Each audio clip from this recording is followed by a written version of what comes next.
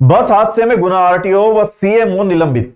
गुना बस आगजनी हादसे में राज्य सरकार ने एक्शन लेना शुरू कर दिया है। मामले में कार्यवाही करते हुए गुना आरटीओ रवि बारेलिया को तत्काल प्रभाव से निलंबित कर दिया गया है। वहीं गुना के सीएमओ बी डी कतरोलिया को भी निलंबित करने के आदेश जारी कर दिए गए हैं। जानकारी के मुताबिक बिना वैध दस्तावेजों के बस संचालन मामले में आरटीओ की लापरवाही सामने आई है। वहीं मौके पर फायर ब्रिगेड देरी से पहुँचने को लेकर गुना सीएमओ को भी निलंबित किया गया है।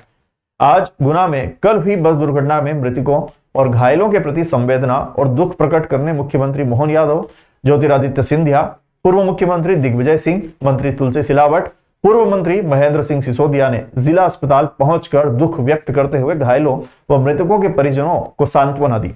गुना से कैमरा पर्सन गौरव शर्मा के साथ आर के शर्मा की रिपोर्ट।